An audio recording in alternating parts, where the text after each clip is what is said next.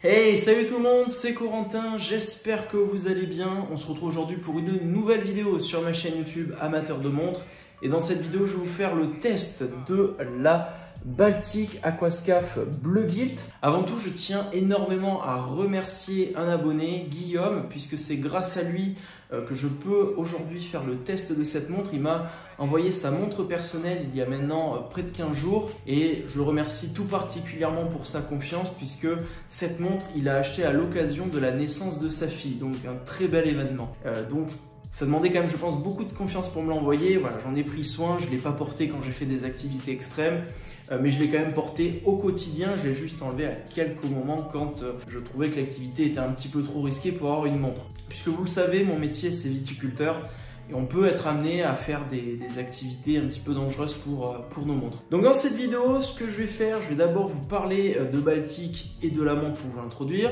Ensuite, on parlera en détail de chaque élément, boîtier, cadran, mouvement, bracelet. Je vous donnerai à chaque fois les caractéristiques de ces éléments et euh, ce que j'en pense, en tout cas la description. Ensuite, je vous donnerai tous les points positifs et négatifs que je considère euh, être sur cette montre et on finira par une conclusion euh, sur ce modèle euh, qui est déjà je dois le dire une montre qui m'a beaucoup plu. bah écoutez c'est parti après le jingle.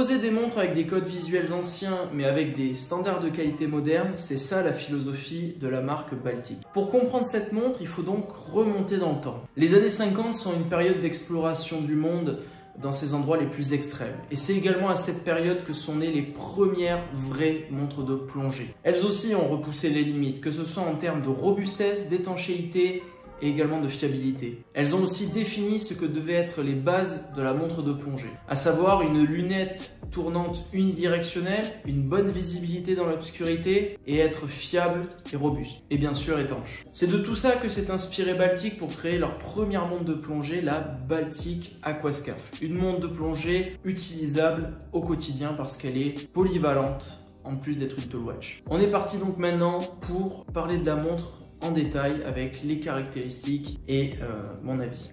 Donc maintenant, je vais vous donner les caractéristiques de cette montre en commençant par le boîtier. Cette montre a un diamètre au niveau de la lunette de 39 mm. Alors pour être honnête, je l'ai mesuré à 39,5 mm, mais bon, ça reste convenable. Alors si j'ai précisé la lunette, c'est tout simplement parce que le diamètre du boîtier est légèrement plus petit à 38 euh, mm. Pour ce qui est du corne à corne, il est de 47 mm. On a donc une taille de montre relativement raisonnable, donc elle ira sur l'immense majorité des poignets.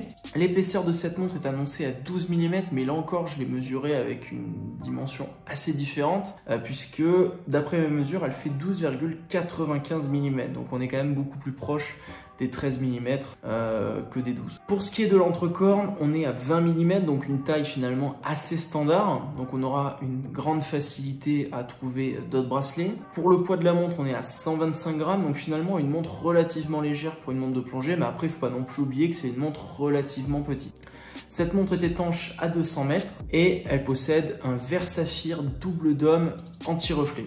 Et également, caractéristique intéressante, euh, la lunette, l'insert lunette est recouvert de verre saphir. Donc maintenant, aidé par les plans vidéo que vous avez à l'écran, je vais vous décrire euh, cette montre. Alors, la forme du boîtier, elle est d'inspiration vintage. On retrouve une tranche assez fine et des cornes relativement longues, mais elles sont arrondies et donc elles poussent parfaitement le poignet. Le boîtier est totalement brossé, chose que j'apprécie car ça évite de voir notamment euh, les micro-rayures.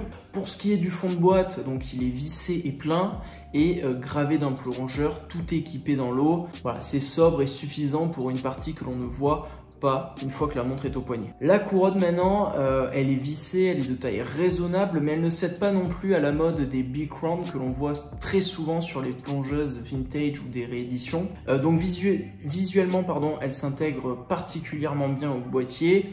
Elle est, je trouve, très facile à manipuler. Euh, on peut remarquer également la présence d'un B pour Baltic qui est joliment gravé dessus et ce B est entouré d'une belle texture granuleuse. C'est très sympa, c'est du plus bel effet. Le défaut qu'il y a sur ce modèle en particulier que j'ai euh, est que quand vous la dévissez pour remonter la montre ou la mettre à l'heure, elle a du jeu sur la tige euh, de remontoir. C'est une sensation assez désagréable et ça m'a effrayé à l'idée de trop la manipuler. C'est un problème assez récurrent chez Baltic puisque typiquement euh, quand j'ai posté les premières photos de cette montre sur Instagram ou sur YouTube, j'ai eu un abonné qui m'a dit que la sienne avait du jeu sur la couronne et justement il me demandait si j'avais également ce jeu sur cette couronne. Alors c'est pas la première fois que j'ai eu ce retour, euh, j'ai également vu une vidéo d'un américain sur la nouvelle en titane qui avait ce problème et j'ai également un abonné qui a acheté la version titane et qui a également ce problème donc bah, ça serait sympa si Baltic voyait la vidéo d'accorder peut-être plus d'importance au contrôle qualité concernant ces couronnes parce que c'est un problème récurrent alors que finalement il n'y a pas d'autres problèmes sur la montre. Bah, je vous rassure déjà. On passe donc à la lunette. Euh, donc la lunette, elle est unidirectionnelle 120 clics. Elle est très agréable à, manipuler. Elle est bien ferme avec un super grip. Elle s'aligne à la perfection. C'est vraiment l'une des lunettes les plus agréables que j'ai manipulées. L'insert est recouvert de verre saphir, ce qui la rend très résistante aux rayures. Et ça peut rappeler visuellement l'aspect de la bac Elite.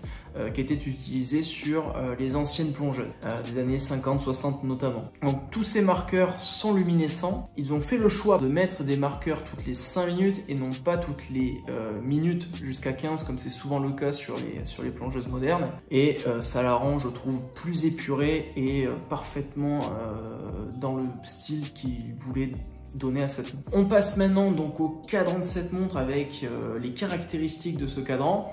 Donc euh, il est donné pour avoir une finition brossée soleillée bleue. Le cadran est dit sandwich et il est euh, recouvert sur les index de Super Luminova. Je vais donc maintenant décrire ce cadran. Donc le cadran est d'un bleu soleillé et légèrement granuleux je trouve, ce qui limite le brillant du soleillé mais le rend euh, plus profond au niveau de sa couleur bleue. Euh, le cadran de cette montre n'est pas particulièrement original, hein, il reprend des, des, codes assez classiques pour une plongeuse, à l'exception de deux choses, le nombre 12 en index à 12 heures plutôt qu'un simple triangle, et euh, bah, le cadran dit de type sandwich qui est quand même une sacrée originalité et qu'on retrouve jamais à ma connaissance euh, à ce prix là. Effectivement donc sur les index triangles qui sont à 3, 6 et 9 heures, la luminescence est sur une couche inférieure à celle du cadran, donc sous la surface du cadran. C'est ça qu'on appelle le cadran sandwich. Donc ce n'était pas quelque chose d'obligatoire, hein, mais ce n'est que plus agréable quand on regarde cette montre dans le détail. C'est très sympa. Pour ce qui est des aiguilles, elles sont de type bâton, très pointues, ça rend l'aiguille des minutes plus précise car elle va jusqu'au discret chemin de fer. Elles sont de différentes tailles recouvertes de super luminova, assez classique donc pour une plongeuse. L'aiguille des secondes est de type lollipop avec une luminescence. C'est encore une fois obligatoire pour une plongeuse pour savoir quand vous êtes en plongée si la montre fonctionne, puisque c'est la seule aiguille qui se déplace euh, assez vite. Les écritures euh, sur le cadran sont limitées et assez discrètes. Euh, le nom de la marque à 12 heures, le nom du modèle et l'étanchéité à 6 heures. Ces écritures euh, sont de la même couleur que la luminescence, euh, c'est-à-dire couleur coquille d'œuf ou couleur crème. Enfin, en tout cas, elles imitent une légère patine. Donc, il n'y a pas de date sur ce cadran, donc ça ne casse pas son harmonie. Je trouve ça très bien pour une plongeuse vintage. Alors je trouve ça bien même pour une plongeuse moderne qui n'est pas de date finalement, parce que quand vous avez plusieurs montres, c'est embêtant de remonter la date. Mais là, sur une montre en plus qui se veut d'inspiration vintage, ce n'est qu'encore plus logique. Et pour finir avec ce cadran, donc le verre saphir double dôme, pardon, il donne un effet de légère déformation sur les bords du cadran. Euh, ça donne du volume à ce cadran, donc en plus de l'effet sandwich, je trouve que c'est vraiment très très sympa. Donc Globalement, la sobriété et les détails discrets de ce cadran euh, rendent particulièrement bien et euh, renforcent le côté vintage euh, de la montre. On va passer donc maintenant au mouvement de la montre et je vais vous en donner ses caractéristiques. Donc les caractéristiques de ce mouvement, bon déjà on est sur un Miota 9039, c'est un mouvement équipé de 24 rubis euh, qui bat à 28 800 alternances par heure, euh, donc on a une belle fluidité euh, des aiguilles. On a une réserve de marge de 42 heures et la précision annoncée sur ce type de mouvement est comprise entre moins 10 et plus 30 secondes par jour. Je vais maintenant vous décrire le mouvement de cette montre. le mouvement est assez récent chez Citizen puisqu'il a été introduit en 2019 2018. En fait, Miota, c'est la, la, marque des mouvements de la marque Citizen. donc c'est un mouvement sans date avec deux positions de la couronne, donc avec le stop seconde et un remontage manuel de la couronne, donc il est tout à fait moderne. Il fait partie de la gamme premium de la marque, donc c'est plutôt cool. D'après mes recherches, son prix est d'environ 100 euros. Donc c'est deux fois moins qu'un Celita SW200, mais c'est également deux fois plus par exemple qu'un Seiko NH35. Donc globalement, je trouve que c'est quand même un très bon choix euh, pour cette montre qui est vendue à un prix inférieur à 800 euros. Honnêtement, un SW200, ça aurait été très très compliqué. Et s'ils avaient mis un Seiko NH35, je trouve que ça aurait été peut-être un petit peu bas de gamme par rapport à, la montre. Donc pour le modèle que j'ai en test, la précision au poignet, hein, donc portée au poignet, est d'environ moins 5 secondes par jour. Alors c'est pas génial parce que c'est en négatif, mais je trouve que c'est assez correct pour ne pas avoir besoin de le régler euh, tous les jours. On va pouvoir passer maintenant au bracelet euh, de cette montre. Donc pour les caractéristiques de ce bracelet, on est sur un bracelet avec un entrecorne de 20 mm et il s'affine jusqu'à la boucle déployante pour ne plus que 18 mm. Il s'agit d'un bracelet de type grainerie et donc c'est un bracelet équipé euh, d'une boucle, euh, d'un fermoir avec une boucle déployante. Alors pour ce que j'ai à dire sur ce bracelet, donc ce bracelet est en métal, il est de type euh, grainerie, comme je l'ai dit. Ça renforce vraiment le côté vintage de la montre. C'est très bien qu'ils aient pensé à, à, utiliser ce type de bracelet. Il est très confortable et visuellement, il est très réussi. Euh, le fermoir, il s'ouvre par une simple pression. Il n'y a pas de rabat de sécurité. Il n'y a pas non plus d'extension de plongée. Du coup, on sent vraiment que ce bracelet est plus fait pour ajouter un côté vintage à la montre euh, qu'un côté tool watch en fait.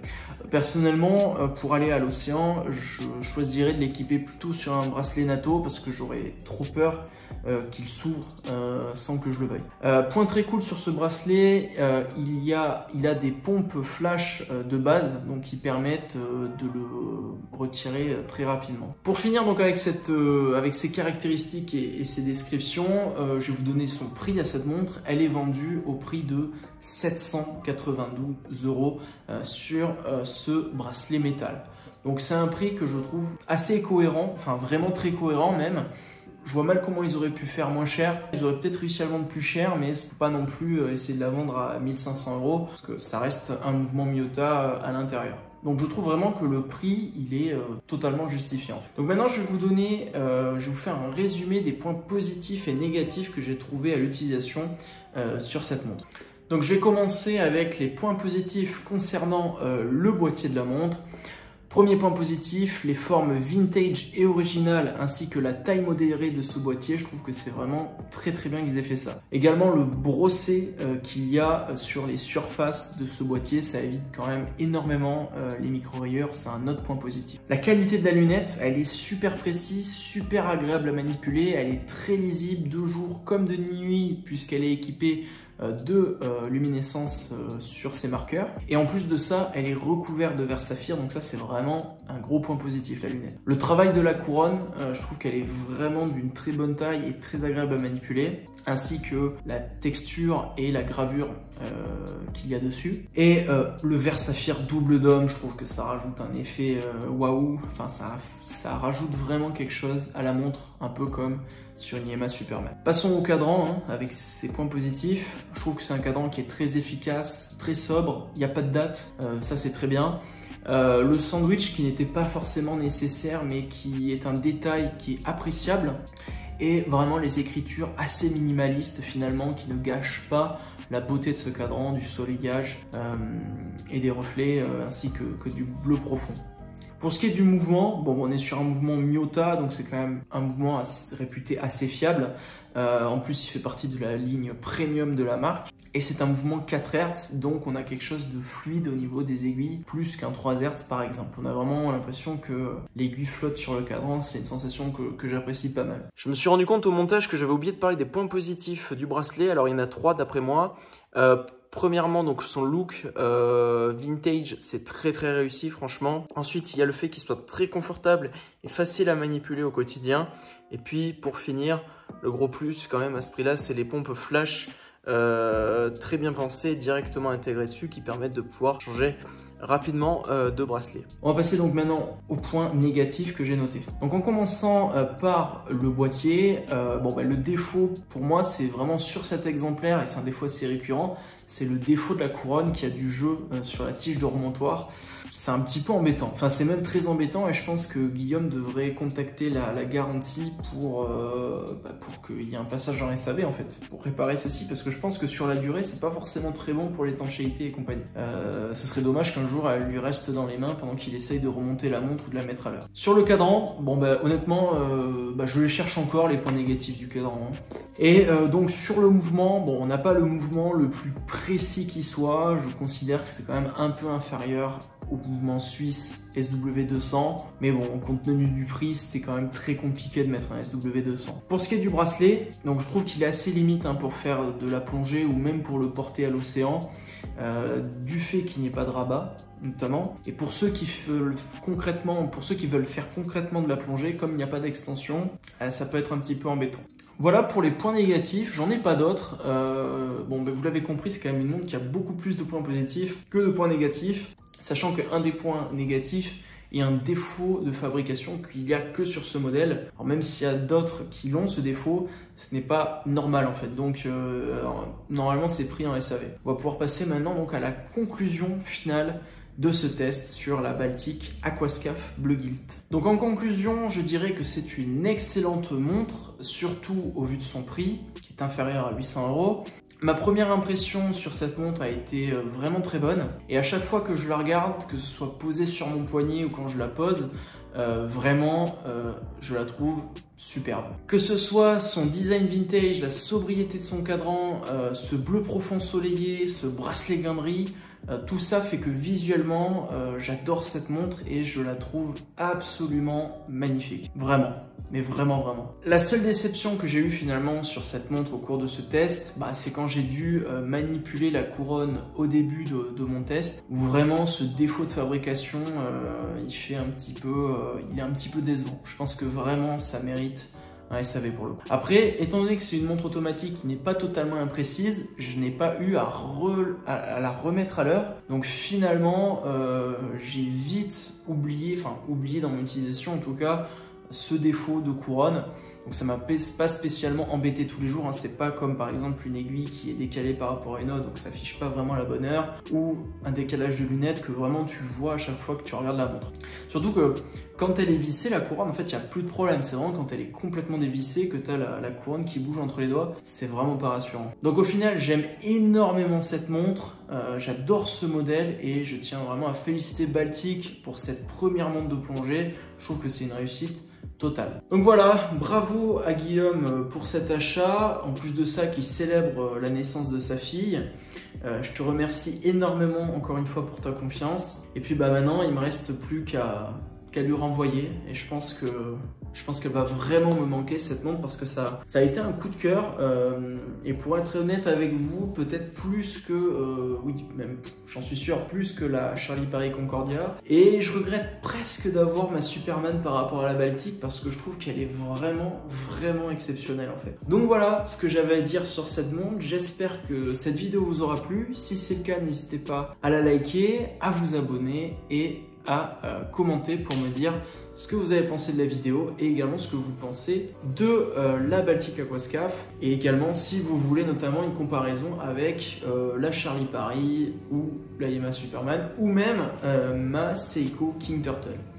Voilà, j'espère donc que cette vidéo vous aura plu. Je vous dis à la prochaine, portez-vous bien, portez bien vos montres et à la prochaine